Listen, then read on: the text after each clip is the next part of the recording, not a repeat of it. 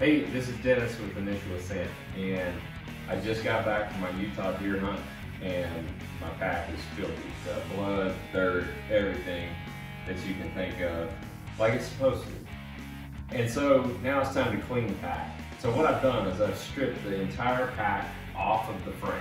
So I've got hip belt, shoulder straps, I've got everything here. And one of our Ascent team athletes, Steve Opat, Alaskan Odysseys, um, he sent me a text and said, I've got a new way to clean the pack. He says, I just threw it in the washer. And so I called him up. He threw it in the washer. He threw it in the dryer as well. Comes out like a new pack. So I'm gonna try that.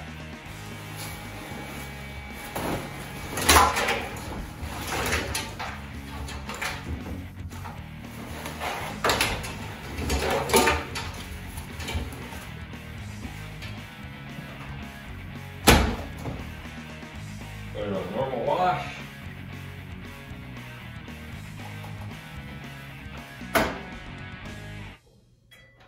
We're gonna see how it turns out.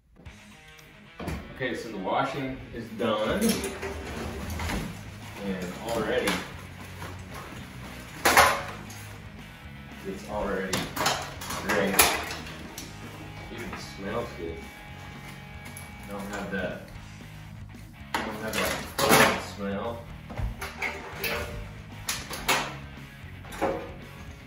Just gonna throw it in the dryer. We're gonna do a, just a short, probably 15 minute dry.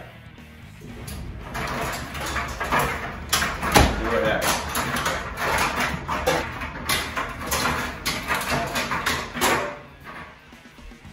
Okay, it's done.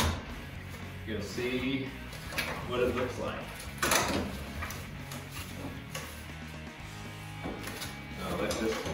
Together.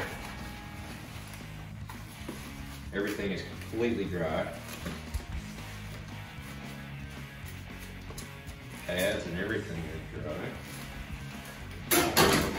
That's the part I was worried about. Now, let's look at the painter. The painter was really bloody. It's perfect. It even smells good. Bag completely dry.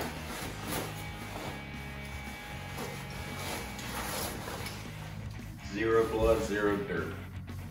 Success!